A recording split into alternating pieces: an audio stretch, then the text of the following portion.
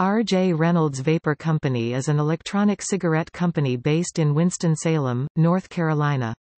The company is a subsidiary of Reynolds American Inc., which is the parent company of R.J. Reynolds Tobacco Company, American Snuff Company, Santa Fe Natural Tobacco Company and Niconovum AB.